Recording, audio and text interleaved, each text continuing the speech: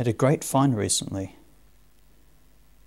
A little while ago, my mum was cleaning out the very top shelves of the pantry where food tries to gain immortality, and she was searching up there, and then she saw something, and she said, Look what I've found.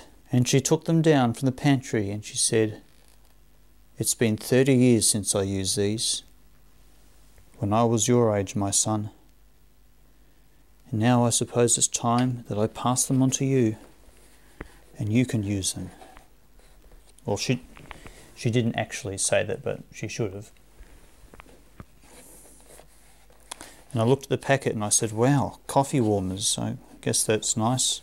And then I looked inside the box and I said, My dear mother, this is the greatest gift you've ever given me, besides the uh, gift of life, of course. A great big box of old isographs. Isn't that fantastic?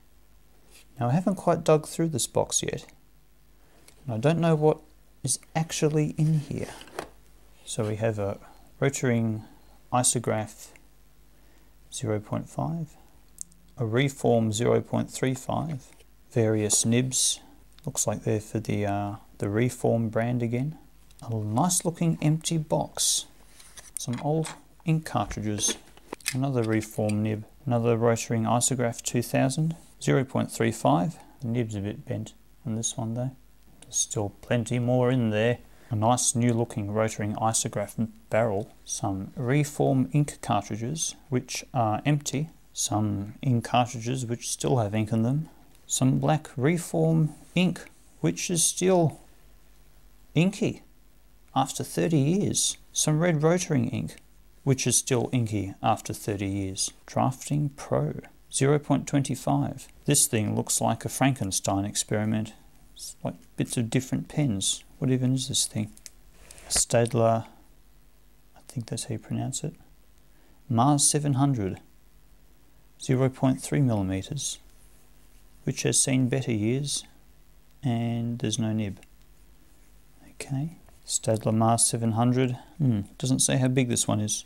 Another empty barrel for a Marsmatic 700. Another Marsmatic 700 with a undisclosed nib size Another barrel for a Serenomatic. Another barrel for a Marsmatic.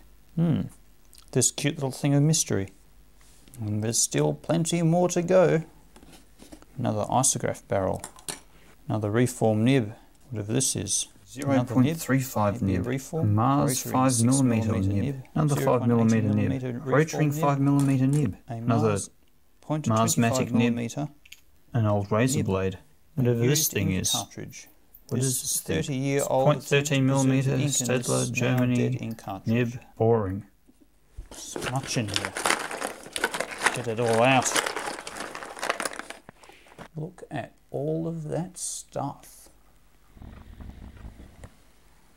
So now I'll have to find some pens at work.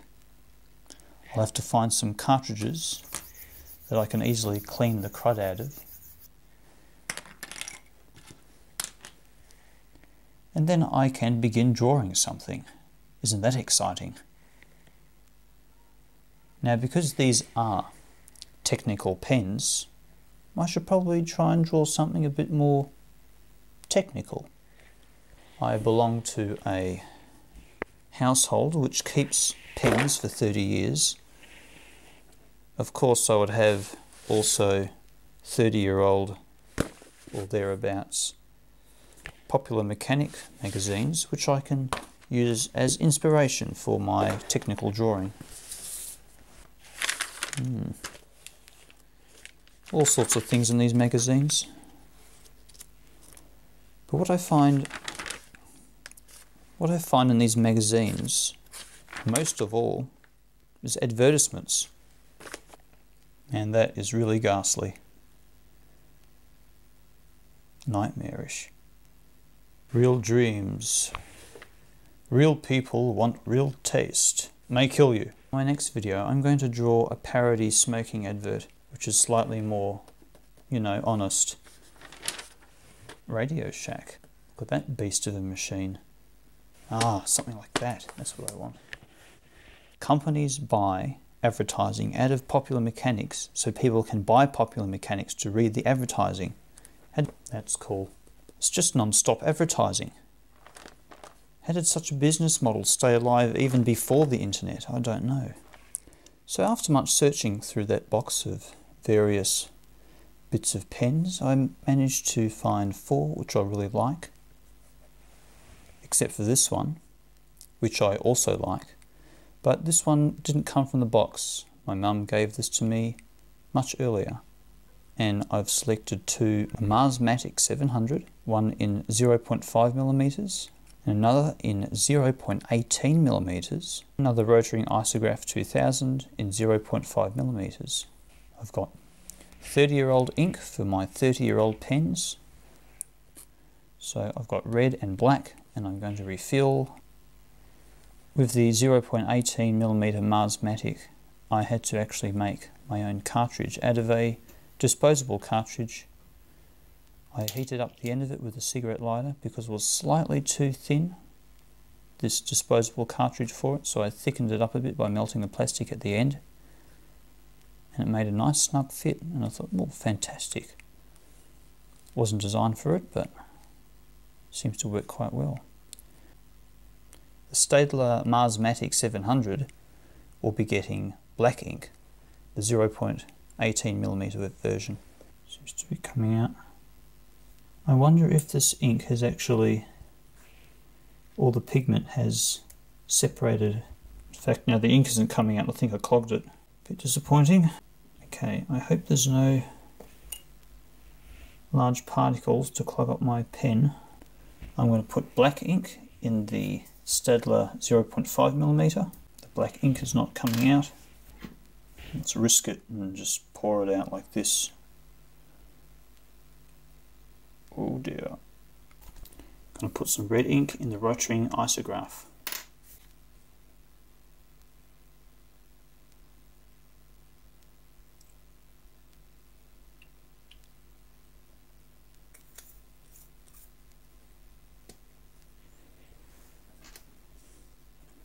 Let's try them out. The 0.7 millimeter. That seems to work very well. The Rotring 2000 with the red ink in it. Not yet. Oh yeah, look at that.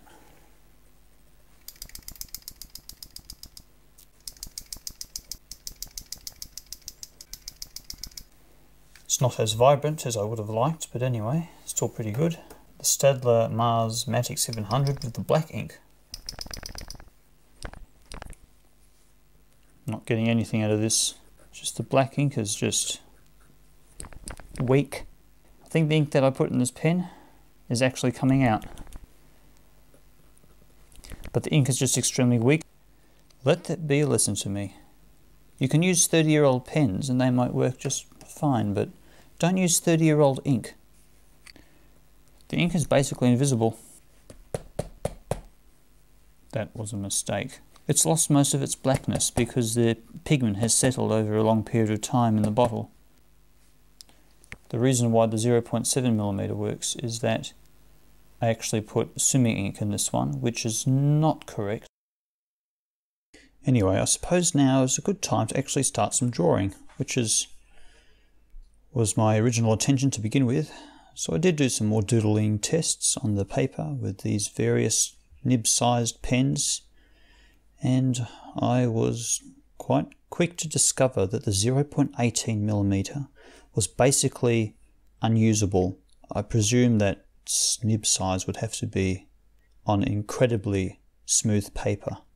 It's just like scratching a needle across a rough surface. It's really terrible but 0.5 millimeters is quite nice. So initially I did a bit of a pencil sketch. I tried using a ruler uh, twice I think. Then I just gave up and I decided to just basically wing it freehand, yeah. Now you're probably wondering how my mum ended up getting all these pens. Did she buy them? No, she didn't buy them. So what basically happened was that my mum was a drafts person for one of the local councils. And back then, of course, they did everything on paper. And the paper was incredibly harsh and abrasive, the drafting paper. So they used to wear through the nibs of these pens and throw them away on a regular basis.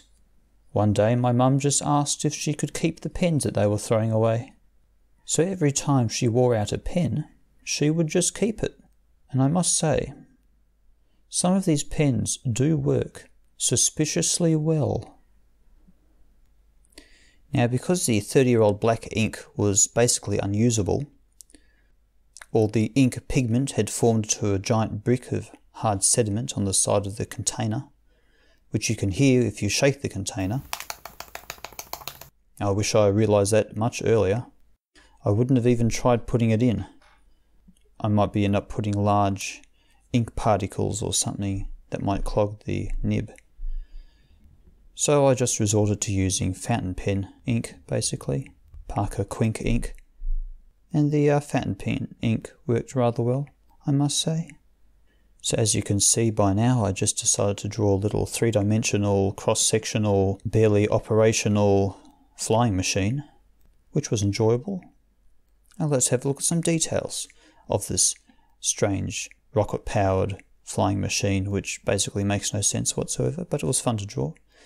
Uh, look at this wing. Oh, the, the, wing. The wing's terrible. Let's let's uh, let's let's look at something else. Let's, let's, oh, no, there's another mistake over there. Um, I will go just a gr grand sweeping shot, I suppose, and just uh, remember the good parts about it. Okay.